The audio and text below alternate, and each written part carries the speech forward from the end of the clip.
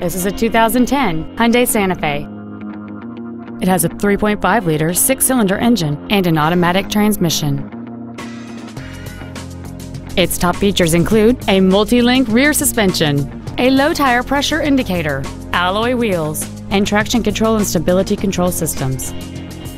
The following features are also included air conditioning, cruise control, heated side view mirrors, a leather-wrapped shift knob, a rear spoiler, a chrome grille, roof rails, rear impact crumple zones, a rear window defroster, and this vehicle has fewer than 47,000 miles on the odometer.